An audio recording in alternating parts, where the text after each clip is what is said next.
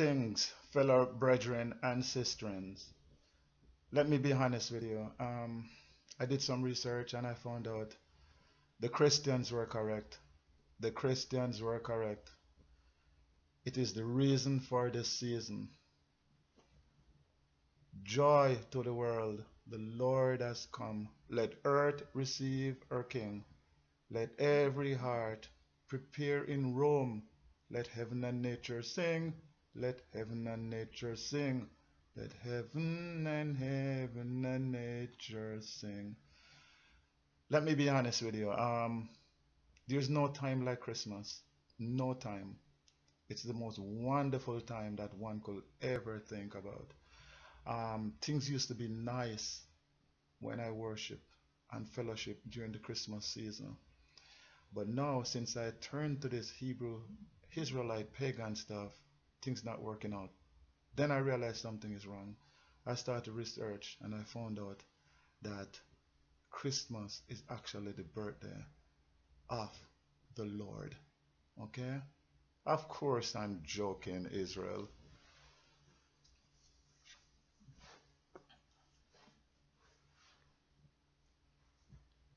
Shalom Aleichem. Well, today's study is about the pagan practice of Christmas. Yes, December 25th is the birth of the Lord. What Lord? The pagan Nimrod slash Tammuz. Well, we're going to look at the history real quick. It started in 3000 BCE. That's over 5,000 years ago. There was a family that they called the quote unquote Holy Family, the Trinity which was based upon um, Nimrod, the sun slash sun god, and his mother Semiramis, and the reincarnated belief of Tammuz. Now, what happened was this: as time goes by, Nimrod he was a mighty hunter upon the face of the earth, very mighty. You read this in Genesis 10 or Bereshit 10, and it tells you about Nimrod. Now, who was Nimrod?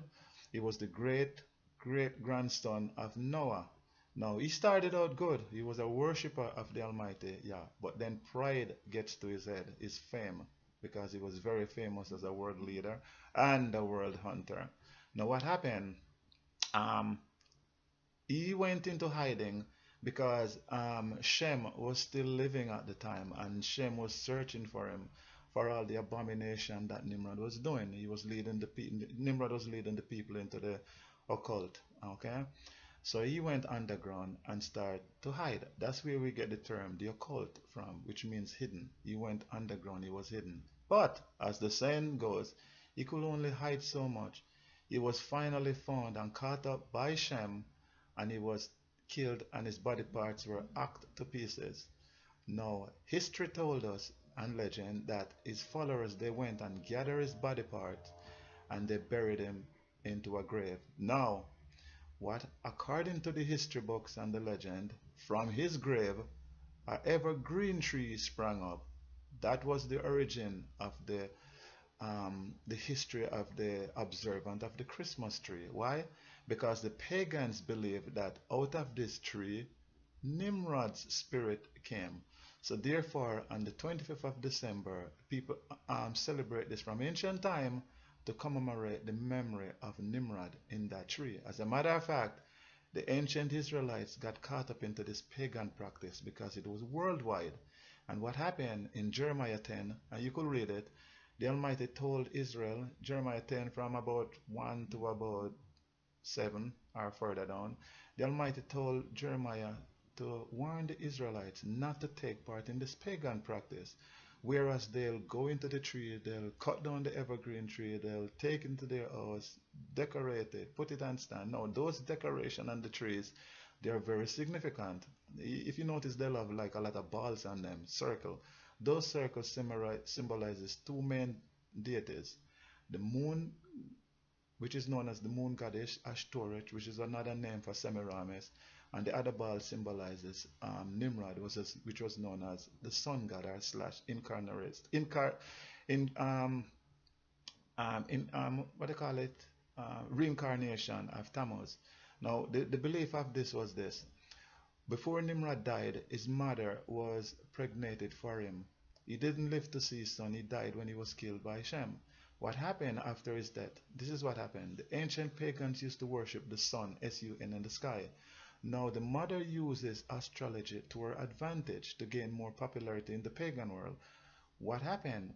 Um, and on the 21st of December, even to the, today, haven't changed, the sun is further away from the earth, making the nights longer. So what happened? The pagans used to fear that the sun will not return because the sun is the source of life meaning without the sun sun in the sky we would not have food warmth we we couldn't live so they used to be fearful that the sun will not return. So they'll do human sacrifice so that the sun will return. She used this at her advantage. What happened the unborn child that was in her womb she told the pagan world that this unborn child was nimrod who went up on to become the sun god sun in the sky. Now what happened on the 25th of December, the sun is closer back to the earth. It so happened that her son Tammuz was born on the 25th of December. So she told the occult world that Nimrod, the sun god, has been reincarnated in the form of Tammuz. Now that's why people celebrate the 25th of December and call it the birth of the sun. But what sun? Actually was the S-U-N, okay, incarnated in Tammuz. Now what makes this so ironic is this. After Tammuz was born, he lived for only 40 years. He was nothing like his father Nimrod. As a matter of fact, he was killed by a wild boar, a wild hog.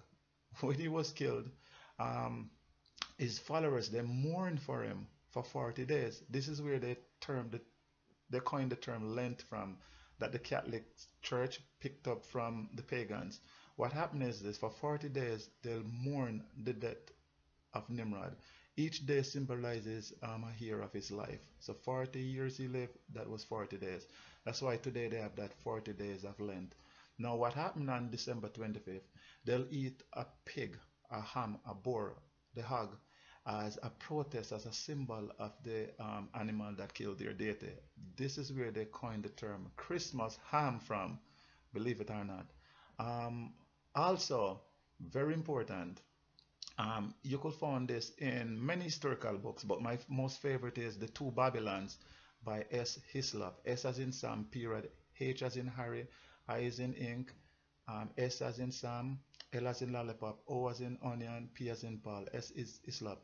He went over Babylon, over in Iraq, modern day Iraq, and he did archaeological research with other archaeologists, and they decorate, they document, they document all these facts that prove all these historical fact that what happened in ancient Babylon. Okay, there are many other books. The um, fossilized customs also um, document this. Also, one last thing before I go, it's also very important to realize that on the 25th of December during the season, if you notice, people put a wreath in the form of a circle on their door. Now think about this. The same wreath is what they put on a coffin to show that it symbolizes the death or dead. Why? Because it started the tree, evergreen tree, from the grave of Nimrod, okay, the sun god.